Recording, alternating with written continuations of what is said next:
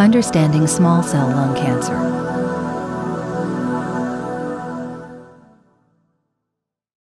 When you inhale, the lungs transfer oxygen from the air to your blood.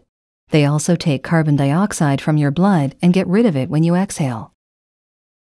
Lung cancer is a disease caused by the unchecked growth and spread of some cells in the lungs. In U.S. adults, lung cancer is the second most common cancer and the most common cause of cancer deaths. Each year in the U.S., almost a quarter of a million people are diagnosed with lung cancer, and over 150,000 die of the disease. Small cell lung cancer is one of two major types of lung cancer. The other one is non small cell lung cancer.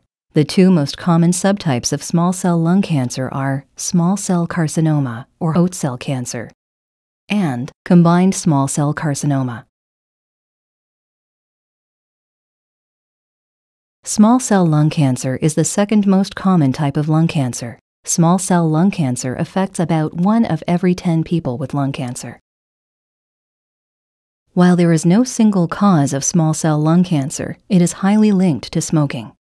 Like most other adult cancers, small cell lung cancer is caused by a buildup of damage to cells.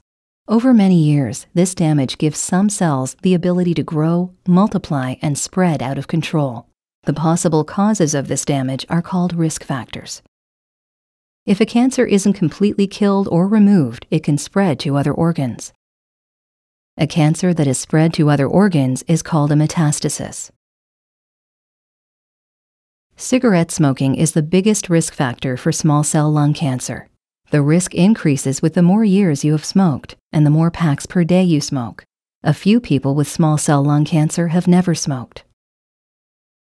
Other risk factors for small cell lung cancer are being exposed at home or work to secondhand smoke, breathing others' smoke, radon, a radioactive gas, arsenic, asbestos, beryllium, cadmium, chromium, nickel, soot, or tar, and prior radiation therapy to the breast or chest.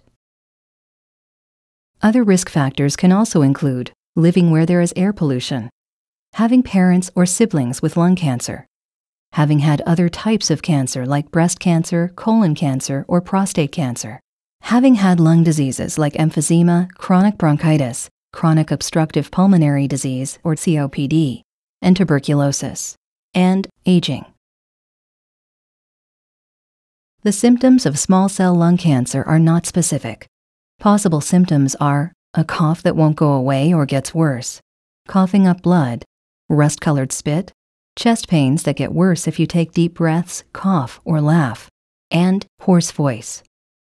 Other symptoms include weight loss and loss of appetite, shortness of breath, feeling tired or weak, a lung infection, such as bronchitis or pneumonia, that won't go away or keeps coming back, and wheezing with no known cause, like asthma. Researchers haven't found any drugs, vitamins, herbal remedies, or alternative medicines that can help prevent lung cancer. There are things you can do to lower your risk. The most important thing you can do to lower your risk of small cell lung cancer is don't smoke cigarettes, cigars, and pipes. Other things you can do avoid secondhand smoke and avoid radon and other chemicals that can cause cancer. Having a small cancer that hasn't spread outside the lung increases survival. The main ways to treat people with small cell lung cancer are radiation therapy and drug therapy. Which options are best for you will depend on factors like your tumor type, size, location, and spread, tumor molecular makeup and other test results, symptoms, age and overall health, and preferences. Your doctor will explain the recommended treatment options. Make a plan together. Ask lots of questions. For example, what are the goals of this treatment? And what are its side effects? When you meet with your doctor, be sure to explain your worries and wishes. Ask for a second opinion. And ask if there are any clinical trials you could join.